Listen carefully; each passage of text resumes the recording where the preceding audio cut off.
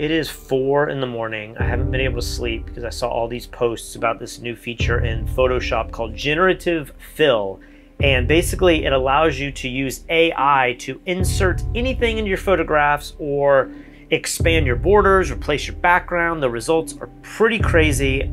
It's a little nerve wracking, I have to say, because this is either going to be an amazing tool that all photographers can use, or this might be the end of photography as we know it.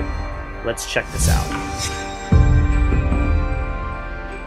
Now, if you're a photographer, you've probably seen this on your social media. This was just released a few days ago.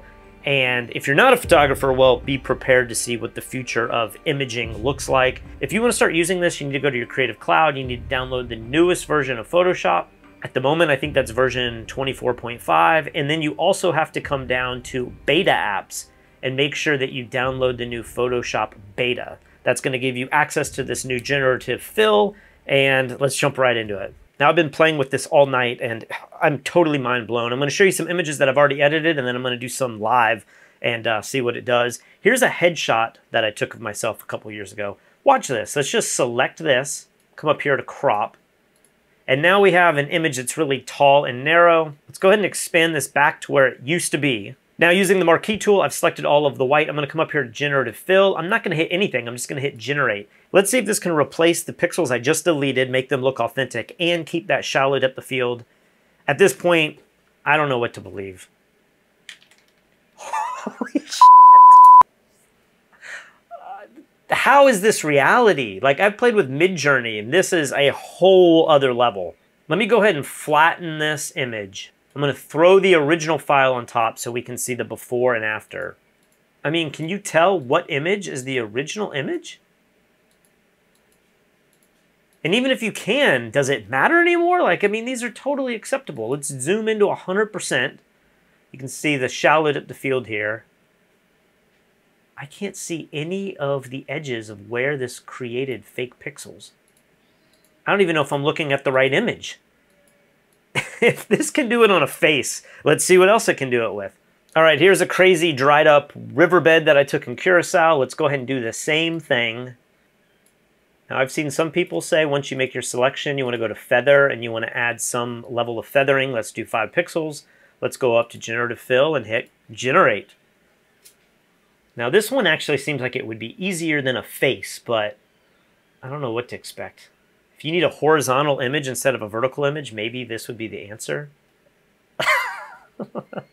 like, I don't even know what to believe. It's one thing to use AI generators and to create art that's not connected to your art at all, but then to augment your photographs like this, it's it's pretty startling. Look at that. It even added like a highlight up here in the top left of where the sun would be. I'm going to flip this on and off. And now as you look at this, you can say, oh, I can tell where the borders are. But if I turn this on and then say, draw where you think the edges are, I don't know that you could do that. All right, here's an image we have from one of the very first Fstoppers videos we ever did. Let's see if we can actually put clothes back on the model. I'm gonna come up here and hit select subject.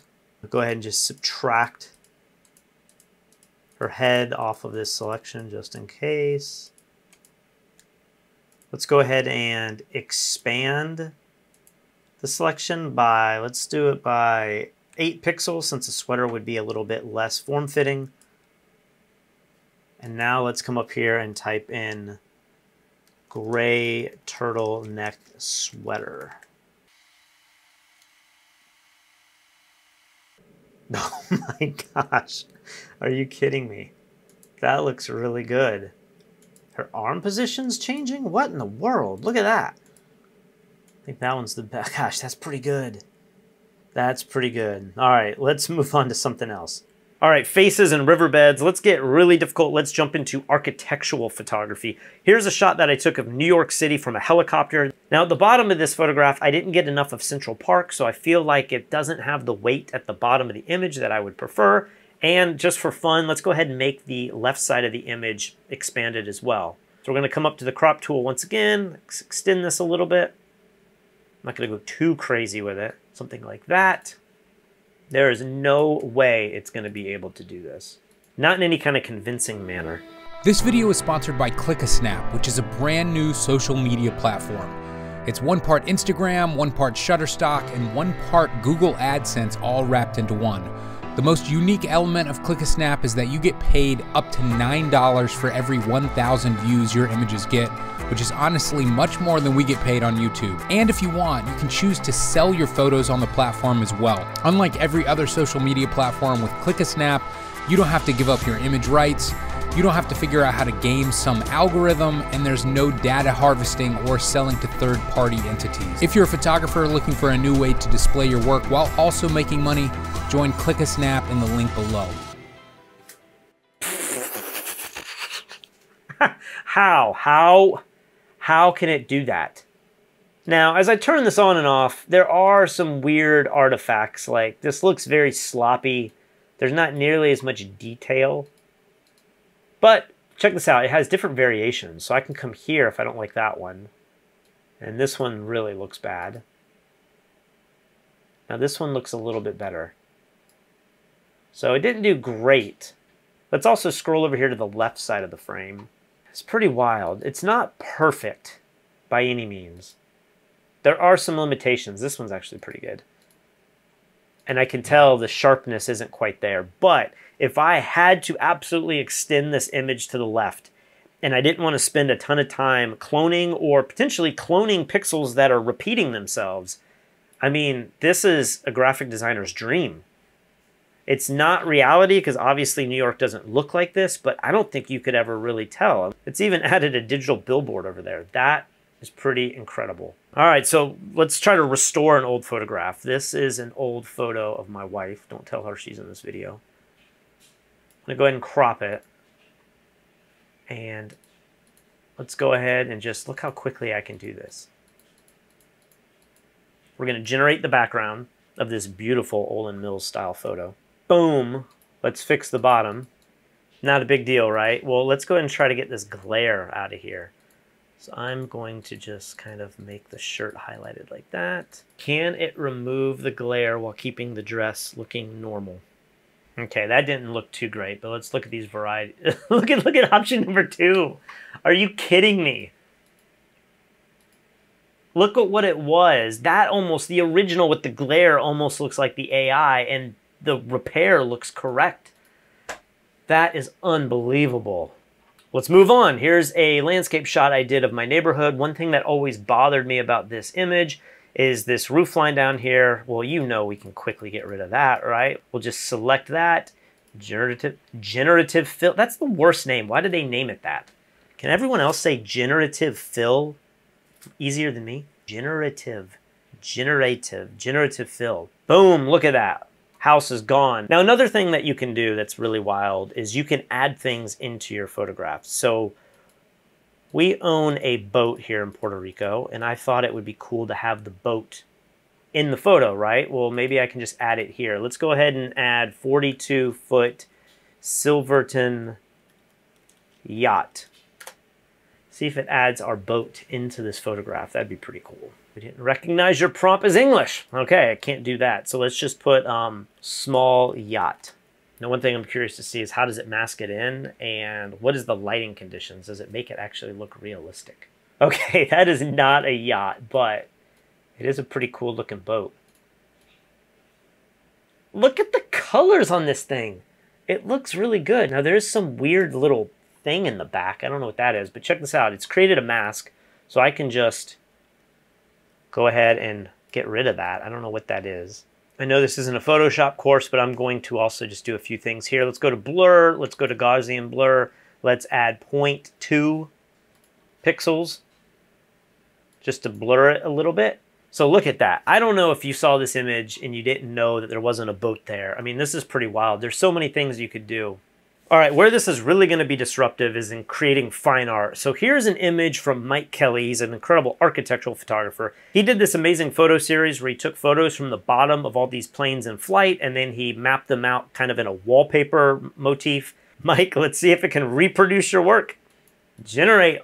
Boom, let's see what it does. I have to say, in many ways, this is more exciting to me than Midjourney, where you just put in some prompts and wait to see what it's going to make up. This actually is taking your artwork and now massaging it into the AI world, which is really exciting, but in some ways, This is kind of the thing we've all feared because now you can manipulate your images and create this hybrid that really wasn't possible before. Okay, so clearly some of these planes look a little uh, special, and uh, I don't think that it works perfectly, but it's not bad. I mean, if it can do this right now in the beta version, just like we saw with Midjourney, I mean, this thing's going to be amazing in five months. Now, before I get into another photograph here, I want to ask for your help. I'm not going to say subscribe to our channel or hit that little bell. Instead, what I want you to do is help us get some more views. We have almost a million subscribers, and yet look at the views on this video. The algorithm is definitely off. So one way that I think you guys can help us, go to the top search bar on YouTube, type in Fstoppers, and then click on any video that shows up. I think that's really gonna help our channel. Of course, you could also leave a comment below, that helps as well, but hopefully when we get this channel back on track. Let's jump into another image here. This one is really wild as well. All right, here's an image of mine that I always felt like I wish I could have gone back in time and added a few more production elements and different assets to create a photo that just is a little bit more compelling. When I look at this image, it was supposed to be a fashion shoot, but it kind of feels like a creepy movie poster or something. It's got this Westworld vibe to it, but it doesn't have those elements that it needs to really push it over the top. And so one thing that I want to do, let's come down here. I want to add something on this table. So I'm just going to highlight the table here. I love the texture in this table. I always thought this image would be cool if these were like pioneer women who are also murderers and on the run, you know, outlaws. So in order to do that, I thought it would be cool to have some kind of weapon on the table. So let's type in antique rifle. Nope, the generated images were removed because they violate user guidelines. I don't know that you can do a gun. Let's try something else. Let's try like a, uh, what did Davy Crockett have, a musket? That's a really weird word to ban. Ah, they removed that as well. What is something that's creepy that might work? Uh, what about like a pickaxe? Ah, there we go. Look, it put some kind of axe in there. Some kind of like pickaxe. It's kind of what I was going for. That looks really cool. It's ambiguous enough to where you don't know if they're dangerous or if they're out there digging for gold. I also think, what if we put something over here on the left side of the image? Let's go with something like wooden garden tools. One thing that really helps with this sort of stuff with using AI to create art is being real specific in the words and language that you use to try to, one, produce the best asset, but then two, to kind of get around some of the guidelines that might be put in place. It's kind of cool. I don't know what that is. Also, let's come down here and add levels. And then we can pull back the whites. See, I can kind of change the intensity. So let's turn this on and off. You can see the before and after. I mean, that tool on the table, I feel like really adds a lot. All right, so we know Photoshop doesn't like guns. What happens if we actually put a gun in the photograph? So here's another photo shoot that I did. Let's go ahead and crop out some of the image. Let's expand it. This is a little bit more complicated. Will it be able to build the gun back? Boom! Look at that! Look at that! All right, so it's a little wonky. And if you're a gun nut, then you probably will look at this and say like, that's not the way it looks. You can see my light stand here looks a little strange. Again, I don't know that your eye would ever really go straight to it. Now, if we zoom in down here, it is struggling to create really sharp foliage and grass and pine straw. It's kind of blurry, so that's not perfect yet. Maybe there's a way to upsize these. There is some like weird artifacting here. So it's not perfect, but again, if you're just making something for Instagram or you're just trying to expand your canvas a little bit, this is a pretty crazy tool at the moment. All right, let's go real extreme with this background change. Let's try to make this like a horizontal image. Let's see what it can do. This is going to be amazing for graphic designers and e-commerce and anything where you just need to expand the background and, and you know use it in different formats. Whoa! Okay, it's not like I don't know. There's elements of this that are amazing, and then there's elements that look. I don't know about this flare. That's kind of weird. If I don't like the flare, let me just select it and go to generate again. Okay, so I got rid of it pretty easily. And look, it creates these different layers, but it also keeps the variation. So I can come here and see what this variation look like. That looks pretty good. Sure beats trying to clone this out on your own. Let's try this. Add painter's ladder. Is it going to be able to do it? Is it going to be able to do it? Will it do it? Is it going to look like clip art? Is it going to look good? I don't know. What do you think? Is that convincing or not? I mean, if you don't have access to props or you forgot to put them in your image, This is definitely the way to do it. And again, this is the beta. Like it's only going to get better. So there you go. How is this going to change photography? I don't know. It's extremely exciting, but it's also, I feel like it's leading to the inevitability of photographers being a thing of the past, right?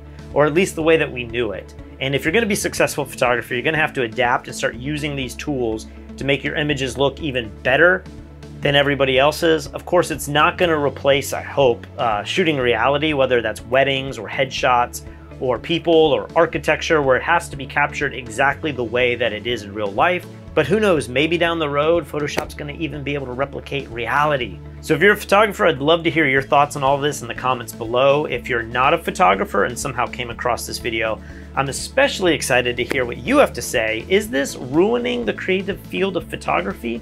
Or is this just another tool that we all have at our disposal? Let me know. If any of you have interest in photography and how to become a better photographer without using these AI trickery tools, check out the tutorials we've done in our store. We have some really thorough tutorials on different genres of photography like headshots, landscape, architectural photography, shooting weddings. So if there's a genre that maybe you're interested in, definitely check out the tutorials there. Or if you're not sure what kind of photography you like, check out the Well-Rounded Photographer where we have eight different instructors giving you a glimpse into their field. Maybe you'll find something that you really enjoy. All right, so I gotta get to bed. It's late, but I'm probably gonna wake up in the morning questioning everything I know about photography.